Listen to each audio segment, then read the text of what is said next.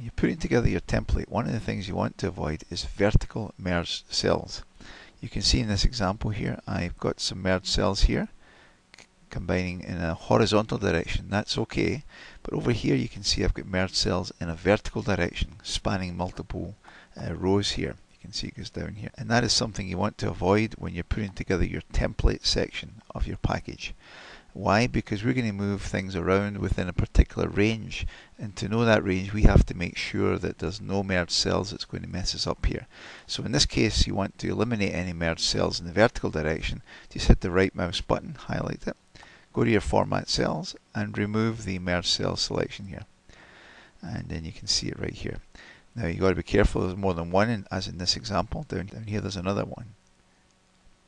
So format the cells and remove the merged cells. Okay, so again you're allowed to have merged cells in a horizontal direction but don't have any in a vertical direction. It will create uh, problems with your packages here.